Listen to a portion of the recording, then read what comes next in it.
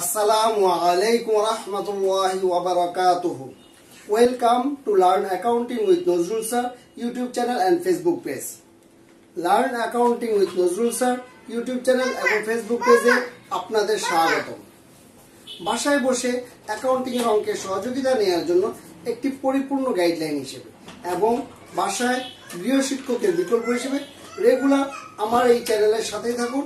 এবং অন্যদেরও আমার এই চ্যানেলের সাথে সংযুক্ত রাখুন। আপনি যদি আমার এই চ্যানেলে নতুন হয়ে থাকেন, তাহলে প্লিজ আমার এই চ্যানেলটিকে সাবস্ক্রাইব করুন এবং পাশে থাকা বেল আইকনটিতে ক্লিক করে রাখুন, তাহলে নতুন নতুন অঙ্কের সমাধান সাথে সাথে পেয়ে যাবেন। আর আপনারা যারা ইতিমধ্যে আমার এই চ্যানেলটিকে সাবস্ক্রাইব করেছেন, আমার ভিডিওগুলো দেখছেন, আমার ভিডিওগুলিতে লাইক করেছেন কমেন্টস করেছেন শেয়ার করেছেন, তাদের সকলকে জানাই আন্তরিক শুভেচ্ছা ও অভিনন্দন। আজকে আমরা আলোচনা করব উচ্চ মাধ্যমিক শ্রেণির হিসাব বিজ্ঞান প্রথম পত্র থেকে, হিসাবের বইসমূহ অধ্যায় থেকে রাজশাহী বোর্ড দুই সালের চার নম্বর অঙ্কটি। আপনাদের সাথে উপস্থাপনায় আমি আছি মোহাম্মদ নজরুল ইসলাম, সহকারী অধ্যাপক, হিসাব বিজ্ঞান বিভাগ, Central Women's College, Tikatuli, Dhaka. প্রথমে আমরা একটু অঙ্কটা দেখে নিই। ইস্টার্ন রিপেয়ার শপ এর ব্যবসায়ের মার্চ দুই হাজার একুশ মাসের লেনদেনগুলো ছিল নিম্নরূপ। মার্চ এক নগদ বাহাত্তর হাজার টাকা এবং পঁচিশ হাজার টাকার সরঞ্জাম ব্যবসায় বিনিয়োগ করা হলো। মার্চ সাত, বাকিতে দুই হাজার টাকার সাপ্লাইজ ক্রয় করা হলো। মার্চ বারো, খরিদ্দারদের সেবা প্রদান পূর্বক সতেরো হাজার টাকা পাওয়া গেল এবং খরিদ্দারদের উপর ছয় হাজার টাকার বিল করা হলো। মার্চ বিশ, এক হাজার চারশো টাকার উপযোগ বিল পাওয়া গেল, যা পরবর্তী মাসে পরিশোধ করতে হবে। মার্চ পঁচিশ, দুই বছর মেয়াদী বিমার জন্য বারো হাজার টাকা অগ্রিম প্রদান করা হলো। মার্চ আঠাশ, বাড়ির মালিককে মার্চ মাসের ভাড়া বাবদ চার হাজার টাকা প্রদান করা হলো। মার্চ তিরিশ, খরিদ্দারদের নিকট হতে পাওনা চল্লিশ পার্সেন্ট নগদে পাওয়া গেল। মার্চ একত্রিশ, মার্চ মাসের মালিক কর্তৃক উত্তোলনের পরিমাণ ছিল পাঁচ হাজার টাকা। কতে আমার কাছে জানতে চাওয়া হয়েছে, মাস শেষে নিট প্রাপ্য হিসেবে পরিমাণ নির্ণয় করো। খতে আমার কাছে জানতে চাওয়া হয়েছে, মার্চ এক, সাত, পঁচিশ এবং একত্রিশ তারিখের লেনদেনগুলোর টেবুলার চকে হিসাব সমীকরণের উপর প্রভাব দেখাও। গতে আমার কাছে জানতে চাওয়া হয়েছে, মার্চ বারো, বিশ, আঠাশ এবং তিরিশ তারিখের লেনদেনগুলোর জাবেদা দাখিলা করো। তাহলে আমরা প্রথমে আসি, মাস শেষে প্রাপ্য হিসেবের পরিমাণ। তাহলে প্রাপ্য হিসেবের পরিমাণটা যদি আমরা দেখতে চাই, তাহলে আমরা দেখতে পাচ্ছি যে মার্চের বারো তারিখে আমার ছিল, বাকিতে সেবা প্রদান। মার্চের বারো তারিখে খরিদ্দারদের সেবা প্রদান পূর্বক সতেরো হাজার টাকা পাওয়া গেল এবং খরিদ্দারদের উপর ছয় হাজার টাকা বিল করা হলো। তাহলে আমি ছয় হাজার টাকার বিল করা হলো মানে হচ্ছে, আমি ছয় হাজার টাকার সেবা দিয়েছি কিন্তু টাকা পাইনি। অর্থাৎ মার্চের বারো তারিখে বাকিদের সেবা প্রদান ছিল ছয় হাজার টাকা। এর মধ্যে মার্চের তিরিশ তারিখে আবার বলা ছিল, খরিদ্দারদের নিকটতে পাওনা অর্থাৎ যে টাকাটা পাবো, তার চল্লিশ পার্সেন্ট নগদে পাওয়া গেলো। তাহলে আমি এই টাকার চল্লিশ পার্সেন্ট আমি নগদে পেয়েছি। তাহলে ছয় হাজার টাকা থেকে যদি চল্লিশ পার্সেন্ট চব্বিশশো টাকা পেয়ে থাকি, তাহলে আমার বাকি রয়েছে তিন হাজার ছয়শো টাকা। এটাই হচ্ছে আমার নিট প্রাপ্য হিসাব। এটা ছিল আমার ক। অর্থাৎ কত টাকা আমি বাকিতে সেবা দিয়েছি, সেখান থেকে আমি কত টাকা পেলাম আর কত টাকা আমি পাবো। এইটাই আমার কাছে জানতে চাওয়া হয়েছে কতে। এরপর হচ্ছে খ। খতে বলেছে টেবুলার ছকের মাধ্যমে হিসাব সমীকরণের লেনদেনের প্রভাব দেখানো হলো তাহলে আমরা এই লেনদেনের প্রভাবটা যে দেখাবো, এখানে আমার কাছে নির্দিষ্ট তারিখ বলেছে, এক তারিখ আমরা দেখি, এক তারিখে আমার ছিল নগদ এবং সরঞ্জাম। তা আমি এক তারিখে আমি সম্পদের ঘরে পাচ্ছি নগদ এবং সরঞ্জাম। এরপরে তারিখ ছিল সাত তারিখ। সাত তারিখে ছিল সাপ্লাইজ আমি নতুন পেলাম সাপ্লাইজ এবং সাপ্লাইজটা বলছে, আমার সাত তারিখে বাকিতে। বাকিতে কেনার কারণে একটা প্রদয় হিসাব সৃষ্টি হলো। তাহলে আমি পেলাম নগদ, সরঞ্জাম সাপ্লাইজ আর এই পাশ দিয়ে পেলাম প্রদয় হিসাব। আর প্রথম তারিখে আমরা মূলধন তো অবশ্যই আমার থাকবে। মূলধনটা আমার এটা বাধ্যতামূলক থাকবে। এরপরে ছিল আমার একত্রিশ তারিখ পনেরো তারিখ। এরপর আমার তারিখ ছিল সরি পঁচিশ তারিখ। পঁচিশ তারিখ ছিল দুই বছর মেয়াদী বিমার জন্য বারো হাজার টাকা প্রদান করা হলো, অর্থাৎ অগ্রিম বিমা। অর্থাৎ আমি একটি হিসাব সমীকরণ করার আগে আমাকে যে কয়টা তারিখ বলেছে অথবা পুরো অঙ্ক থেকে আমি আগে দেখব আমার সম্পদ কতগুলো আছে। এরপর আমার দেখব দায় কয়টা আছে। মূলধন তো একটা থাকবেই। এইভাবে আমরা ঘরেরটা আগে নির্ধারণ করে নিব যে আমার কি কি ঘর হবে। তা আমার এই চারটি লাইন থেকে আমি দেখলাম, আমি পাচ্ছি সম্পদ পাশে নগদ, সরঞ্জাম, সাপ্লাইস, অগ্রিম বিমা। দায় পাশে পাচ্ছি প্রদেয় হিসাব এবং মূলধন আমরা পাচ্ছি। এই এই জিনিসগুলো দিয়ে আমি আমার কি করব? হিসাব সমীকরণটা করব। হিসাব সমীকরণের ঘরটার মধ্যে আমরা কি করব? প্রথমে একটাই, এক স্কেল পরিমাণ দাগ টানবো, উপরে নিচে দাগ টেনে এই পাশ থেকে প্রথমে তারিখের একটা ঘর আলাদা করব, এই পাশ থেকে মন্তব্যের একটি ঘর আলাদা করব।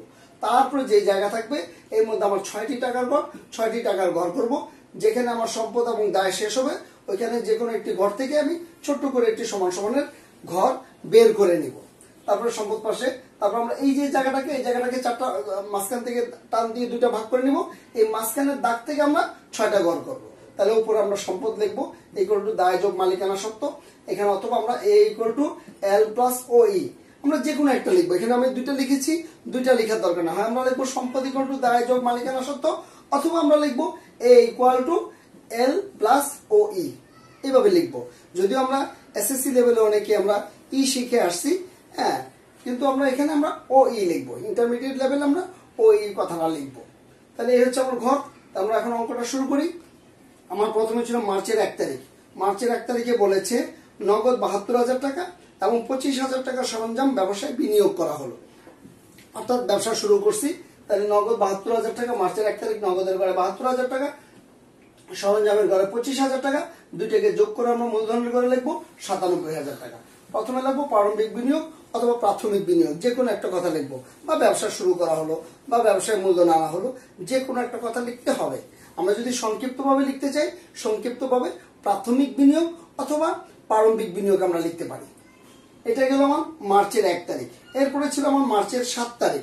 মার্চের সাত তারিখের মধ্যে আমরা পাচ্ছি, বাকিতে দুই হাজার টাকার সাপ্লাইজ ক্রয় করা হলো। বাকিতে দুই হাজার টাকার সাপ্লাইজ ক্রয় করেছি। তাহলে প্রথমে আসবে মার্চের সাত তারিখ লিখে সাপ্লাইজ বরাবর লিখব দুই হাজার টাকা। আমরা প্রথম লাইনটাকে বাদ দিয়ে পরের লাইনটা রেখে লাইনে লিখলে জিনিসটা সুন্দর হয়। অর্থাৎ নতুন যে সংখ্যাটা লিখব, সেটা পরের লাইনে লিখব। আর যোগফল যখন নামাবো, সেটা প্রথম লাইনে অথবা প্রথম লাইনটা প্রথম লাইনেই থাকবে। তারপর আমরা কি করলাম? সাপ্লাইজ কিনলাম দুই হাজার টাকা। যেহেতু বাকিতে কিনেছি, প্রদেয় হিসাব সৃষ্টি হলো দুই হাজার টাকা। তাহলে আমরা দাগ টেনে যোগ করে দিব। প্রত্যেকটা যোগফল নামাই দিলাম। যোগফল নামাই দেওয়ার পরে, এই গেল আমার সাত তারিখ। সাত তারিখের পরে আমাদের তারিখ আসতেছে পঁচিশ তারিখ।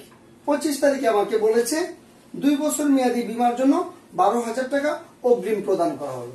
আমি বিমার জন্য টাকা প্রদান করেছি, আমার টাকা চলে গেছে। তাহলে আমার পঁচিশ তারিখ, নগদ থেকে বারো হাজার টাকা আমরা মাইনাস করব, আর অগ্রিম বিমার করে বারো হাজার টাকা লিখব। নগদ থেকে বারো হাজার টাকা মাইনাস করব অগ্রিম বিমার করে বারো হাজার টাকা লিখব। যখনই নতুন লাইনটা লিখব, সেটা আমরা পরের লাইনে লিখব। তারপর দাগ টেনে আমরা যোগফল নামিয়ে দিলাম। যোগফল নামিয়ে দেওয়ার পরে এরপর আমরা আসি একত্রিশ তারিখ। একত্রিশ তারিখে ছিল? মার্চ মাসের মালিক কর্তৃক উত্তোলনের পরিমাণ ছিল পাঁচ হাজার টাকা। তাহলে উত্তোলন করলে কারবার থেকে নগদ টাকা চলে গিয়েছে। তাহলে নগদ থেকে মাইনাস, আর উত্তোলনকে আমরা জানি মূলধন থেকেও মাইনাস হয়। আমরা মূলধন থেকে মাইনাস করলাম ও, আর নগদ থেকে মাইনাস করলাম। মাইনাস করে তারপর আমরা যোগফলটা নামিয়ে দিলাম। এরপর আমার আর কোনো সংখ্যা নেই, আর কোনো তারিখ নেই। এরপর আমরা কি করলাম? একটু দাগ টেনে এই সম্পদগুলোকে যোগ করে বসিয়ে দিলাম, দায়গুলোকে যোগ করে বসিয়ে দিলাম। দুই পাশ মিলে গেল, আমার অঙ্কটা হয়ে গেল। এখন একটা বিষয় হচ্ছে, আমি যে বসাবো, বসানো মাত্র কীভাবে বুঝব যে আমার অঙ্কটা হয়েছে বা হয় নাই? আমরা যেটা বুঝব সেটা হচ্ছে, সমান সমানের যদি দুই পাশে যায়, এই যে সমান সমানের দাগটা, সমান সমানের দুই পাশে গেলে হয় দুইটাই মাইনাস হবে, অথবা দুইটাই প্লাস হবে। হয় দুই সমান সমানের দুই পাশে গেলে দুইটাই প্লাস হবে, অথবা সমান সমানের দুই পাশে গেলে দুইটাই মাইনাস হবে। এটা মনে রাখতে হবে। আর যদি সমান সমানের এক পাশে যায়, সমান সমানের যে কোনো এক পাশে যায়, তাহলে একটা প্লাস হবে, একটা মাইনাস হবে। যে কোনো এক পাশে গেলেই একটা প্লাস হবে, একটা মাইনাস হবে। অর্থাৎ সমান সমানটা আমার সমান সমান থাকবে। কারণ প্লাস মাইনাস জিরো ওই পাশে কিছু যায় না মানে জিরো এখানে মাইনাস পাঁচ হাজার, এখানে মাইনাস পাঁচ হাজার। সমান সমানের দুই পাশে যদি আমরা মাইনাস করি, তাহলে এটা সমান সমানই থাকবে। সমান সমানের দুই পাশে যদি প্লাস ফিগার সম পরিমাণ রাখি, এটা সমানই থাকবে। এই ছিল আমার হিসাব সমীকরণ। পরবর্তীতে আমাকে বলেছে মার্চ বারো, বিশ, আঠাশ এবং তিরিশ তারিখের লেনদেনগুলোর জাবেদা দাখিলা করো। তাহলে আমরা দেখি তাহলে বারো তারিখ। বারো তারিখে ছিল খরিদ্দারদের সেবা প্রদান পূর্বক সতেরো হাজার টাকা পাওয়া গেল। এবং খরিদ্দারদের উপর ছয় হাজার টাকা বিল করা হলো। আমি সেবা দিয়েছি নগদে সতেরো হাজার টাকা এবং বাকিতে সেবা দিয়েছি ছয় হাজার টাকা। তাহলে নগদের সেবা দিলে আমার মার্চের বারো তারিখ। আর জাবেদার ঘর তো আমরা জানি, প্রথমে তারিখ, তারপরে হিসাবে নাম ও ব্যাখ্যা, তারপরে রেফারেন্স তারপরে ডেবিট টাকা, তারপরে ক্রেডিট টাকা। পাঁচটি ঘর হয় জাবেদার আমরা এইভাবে এখানে আমাদের বাংলা মিডিয়ামের বই, বইগুলোতে অনেক অনেক বইতে লেখা আছে খতিয়ান পৃষ্ঠা। আমরা খতিয়ান পৃষ্ঠা লিখলেও কোনো সমস্যা নেই বাট আমেরিকান পদ্ধতির যে হিসাব বিজ্ঞানটা বা আমেরিকান রাইটারদের বইতে এখানে সংক্ষেপে আর ই এফ একটা ফুল স্টপ দেওয়া থাকে। আমরা ওই হিসেবে রেফারেন্সের একটা কথা লেখা থাকে, আমরা রেফারেন্সের কথাটাই লিখলাম। এখানে আমরা ইচ্ছা করলে সূত্রও লিখতে পারি, খতিয়ান পৃষ্ঠাও লিখতে পারি রেফারেন্সও লিখতে পারি। তাহলে আসি আমরা মার্চের বারো তারিখ। নগদের সেবা প্রদান করেছি, নগদের হিসাব ডেবিট সতেরো হাজার টাকা। বাকিদের সেবা প্রদান করেছি, প্রাপ্য হিসাব ডেবিট ছয় হাজার টাকা। আর সেবা আয় হিসাব ক্রেডিট তেইশ হাজার টাকা। তাহলে আমাদের কি হলো? নগদ এবং বাকিতে সেবা প্রদান। তো অর্থাৎ আমি নগদের সেবা প্রদান করেছি দেখে নগদের হিসাব ডেবিট হয়েছে সতেরো হাজার টাকা। বাকিতে সেবা প্রদান করেছি, তাই প্রাপ্য হিসাব ডেবিট হয়েছে ছয় হাজার টাকা। আর সেবাটা আমার আয়, তাই সেবা আয় হিসাব হয়েছে আমার তেইশ হাজার টাকা। এটা যোগ করলে আমরা তেইশ হাজার টাকা পাই। তাহলে এইভাবে আমরা প্রথম জাবেদাটা করলাম। এরপরে আমরা করব বিশ তারিখের জাবেদা। বিশ তারিখে ছিল কি? এক হাজার চারশো টাকার উপযোগ বিল পাওয়া গেল, যা পরবর্তী মাসে পরিশোধ করতে হবে। যেহেতু পরবর্তী মাসে পরিশোধ করব, অর্থাৎ চলতি মাসে এটা আমার বকেয়া, প্রদেয় হিসাব। তা আমরা উপযোগ বিল পেলাম, বিশ তারিখে উপযোগ হিসাব ডেবিট, প্রদেয় হিসাব ক্রেডিট, এক হাজার চারশো টাকা, এক হাজার চারশো টাকা। উপযোগ বিল পাওয়া গেল। উপযোগ বিল কিন্তু পরিশোধ করি নেই। উপযোগ বিল পাওয়া গেল। তাহলে বিল পেলে আমার প্রদেয় হিসাব ক্রেডিট হয়। উপযোগ হিসাবটা আমার খরচ।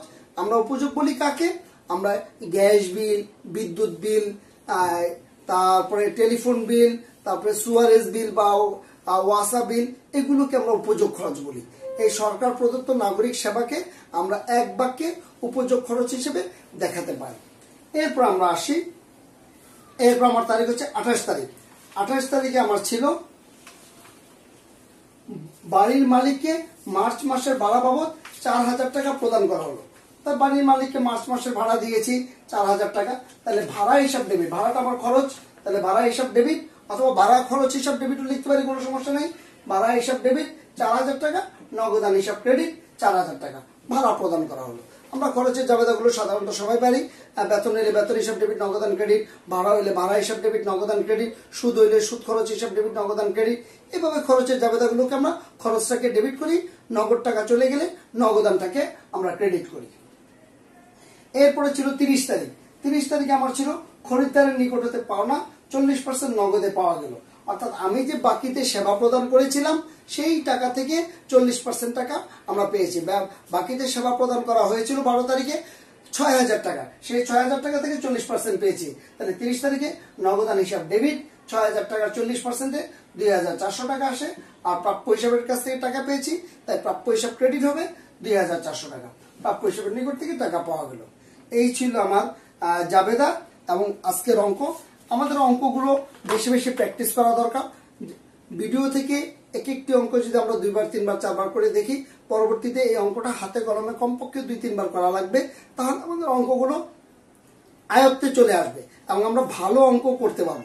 আমরা যত বেশি অ্যাকাউন্টিং প্র্যাকটিস করব, তত বেশি আমরা অ্যাকাউন্টিং এ পারদর্শী হয়ে উঠব। আপনাদের যে কোনো মতামত, উপদেশ, পরামর্শ আমাদেরকে কমেন্টে লিখে জানান ইউটিউব চ্যানেল এবং ফেসবুক পেজে আমাদের সাথেই থাকুন। ফেসবুক পেজে আমরা ভেরি রিসেন্টলি আমরা এমসিকিউর সলিউশনগুলো দেওয়া শুরু করেছি। আপনারা যদি এমসিকিউর সলিউশনগুলোর জন্য এই একই নামে learn accounting with Nazrul sir এই নামে ফেসবুক পেজ আছে, এই পেজটিকে যদি আপনারা ফলো করতে পারেন, তাহলে এমসিকিউর সলিউশনগুলো এখানে পেয়ে যাবেন। আমরা প্রথমে সাল ওয়াইজ সলিউশনগুলো দিব এবং পরবর্তীতে কোনো এক সময় আমরা চ্যাপ্টার ওয়াইজ দিতে চেষ্টা করব ইনশাআল্লাহ। ভিডিওটি যদি আপনাদের কাছে ভালো লেগে থাকে, বেশি বেশি করে শেয়ার করুন। সবার কাছে পৌঁছে দিন। আশা করি ভালো থাকবেন, সুস্থ থাকবেন। আল্লাহ হাফেজ।